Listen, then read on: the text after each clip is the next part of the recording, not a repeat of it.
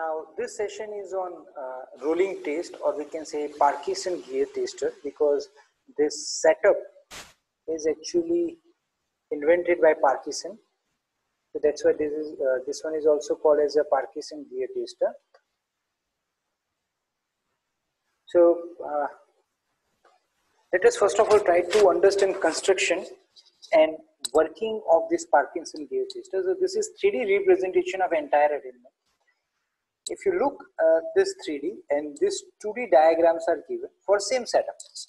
Now here you can consider this one as a master gear. Uh, if you just consider this, this is having a bed first of all. This bed is having two guideways. On these two guideways, we have floating carriage. This is having floating carriage uh, sorry the uh, this this one is a permanent this is a permanent carriage and this carriage is a floating carriage. So one bed with two guideways and two carriages are given. One is this one is a fixed and second one is the floating carriage. So this floating carriage that can uh, uh, move on these two guideways. And this this floating carriage is actually spring loaded so always this spring will try to keep contact between two gears because these two carriages, they are having two spindles, two vertical spindles and on these two vertical spindles, we are fixing two gears. So if you look in this schematic arrangement, this is the bed.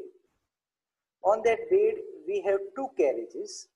This carriage is fixed and this carriage can slide to and fro on bed then two vertical spindles are given.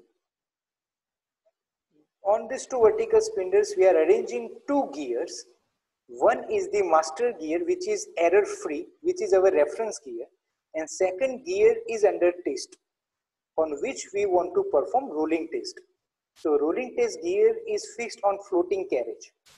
So this floating carriage is again spring loaded against this fixed fixed carriage, uh, a fixed carriage. So always that spring is visible here in this schematic diagram. So always this spring will try to keep continuous positive contact between both the gears. Yeah. Now, if any error is present in the gear under test with reference to master gear, then due to that error, this master gear will try to push this gear under test. And as on base we are having one guideway, then that guideway only allow movable carriage to move in one direction because one direction is only, it, it, it is having one degree of freedom only along the bed axis. So if any error is present in gear under state uh, test compared to master gear, then due to that error, some force will be exerted by master gear on gear under test and due to that force this floating carriage or movable carriage that will slide on the guideway. On the other side, we have used one dial indicator. This dial indicator is visible here as well as it is visible in this 3D image of rolling tester or Parkinson gear tester. Yeah? So that movement of carriage due to error will be indicated by dial indicator because dial indicator plunger is in contact with floating carriage. So if due to any error, if this carriage will move, then this plunger is having direct contact, then same movement will be transferred to plunger and plunger movement will be indicated by dial indicator. So this is what the basic working of floating, uh, basic working of Parkinson gear tester or rolling gear tester. And you can see here in this diagram, just try to understand this diagram. If the gear under test is truly replica of master gear because master gear is is assumed as error free defect free so master gear is not having any defect. So if master gear and gear under test both are identical then for one rotation of this gear under test we are observing fluctuation in dial indicator. So one revolution is actually indicated by this one circle. So during movement uh, during this movement during one rotation of gear under test if any fluctuation is not there is no fluctuation then we get perfectly circular geometry. But here in this image 2 you can see which is considered as a moderate defect. If minor defect is there then during one rotation of gear this carriage will move slightly to and fro. And that to and fro movement will be uh, captured by this dial indicator. Then you get this type of uh, uneven periphery of circle. Circle periphery is uneven. But this is considerable uh, considerable or the acceptable variation or acceptable error. But if you look here more worst unsatisfactory. Because for one rotation if you see too much random errors because we are not getting perfectly circular or the more or less circle type of uh, trace clear then here it is indication that maximum variation up to this again maximum variation and then maximum variation. So what we are trying here for one complete rotation, we are trying to plot dial indicator result variation along the along the periphery of this circle.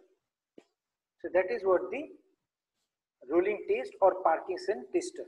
Now let us try to see actual working of Parkinson gear tester using one video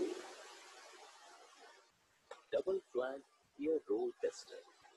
Our double flank gear roll tester by gear manufacturers and users.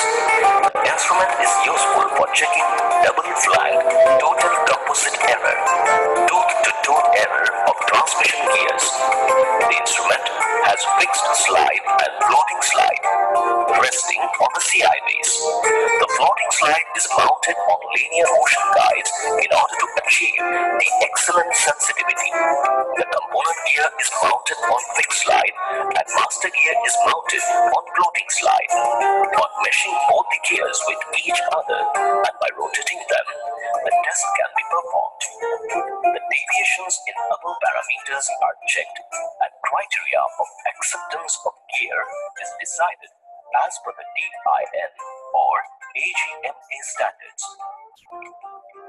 offer big models of double flank gear roll tester according to the size of the gear to be checked.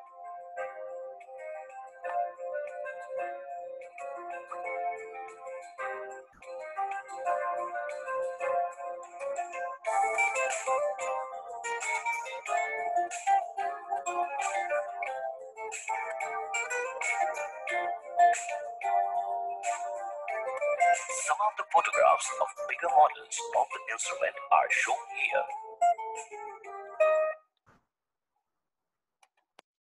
Okay, so I think uh, basic working of Parkinson gear tester is clear.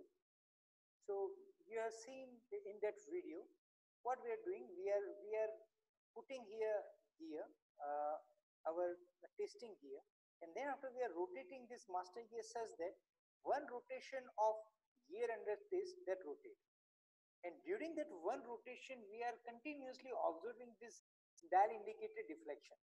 And that acceptance range is already marked here on this tag as per the Indian standard.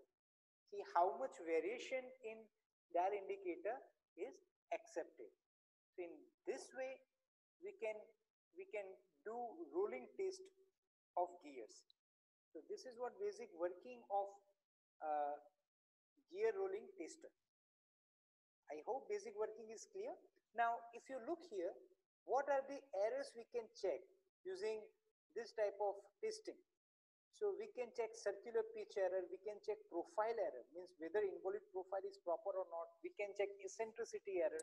So these are the different errors which we can check or which we can test using rolling test. Now, two types of rolling test you can perform if you just remember in that video double flank test. They, they were talking about double flank test. So two two types of test you can perform double flank test and single flank test. So double flank test and single flank test they can measure different types of errors. So first of all let us try to understand double flank test. As per name suggests if you look here uh, two gears are indicated here and when you make contact between teeth of both the gears then in double flank test both the gears this one is a master gear and this one is the gear under test both the gears they are not having any backlash. So if there is zero backlash then flank of both these uh, both the side flanks of teeth they are in contact and that's why that is called as a double flank test because there is no backlash. So here and here, both the flanks of teeth, they are in contact. That's why that is called as a double flank test. So if this called as a double flank test. So without backlash, there is no backlash. And if there is error in, if gear is having eccentricity in it, then this double flank test that can measure error in eccentricity gear eccentricity. So when, if you look, you get for one cycle, this wave is indicating one cycle. And for one cycle, if you see this, this peaks and valleys, they are indicating actually results of dial indicator or, or the movement of uh, carriage, uh, that fluctuation of carriage. They are indicated by these peaks and valleys on this one wavelength. So on that one wavelength, we can get this peak and valley. Now, after getting this plot from double flank rolling test, you get this type of plot. Then how to find out uh, eccentricity or the runout. Runout and eccentricity both are same. So you can clearly see here for entire cycle, if you look for entire cycle, just measure distance between maximum peak to deepest valley. Like in case of uh, roughness measurement, we are talking about maximum peak to valley height. So same here, maximum peak to, if you see maximum valley. So this height, this is called as a total composite error in double flank. So this total composite error is indicating us uh, eccentricity present in the gear. So outcome of outcome of double flank test is run out radial runout and eccentricity. Radial runout is half of eccentricity generally. Yeah? So double flank test can give us error in eccentricity. Now second is single flank test. So in single flank test, we are having some backlash here. You can see here some backlash. Only one flank is in contact with the another flank of opposite gear. In case of double flank test, both the flanks they were having contact. But here only one flank is in contact during the motion transmission. That's why this is called as a single flank test. So again, you get similar representation for one cycle. This dotted curve is in sinusoidal curve that indicating one cycle. And during that one cycle, you get so many peaks and valleys. Yeah. So again, if you measure maximum peak to deepest valley height, which is written, uh, which is written here as total composite error. Then this total composite error is actually indicating pitch error circular pitch circular pitch error. So single flank test is used to check circular pitch error. Double flank test that is used to check eccentricity error. So that is from rolling test and rolling test is more preferred in industry for quick assessment of gear because quickly and rapidly you can check error in gears. So here we are ending this series on gear metrology. This one is the last topic. Rolling test is the last topic from gear metrology. So I hope you understood gear metrology and it's important. If you have any doubt, any question, you can ask queries. Okay. Have a happy learning.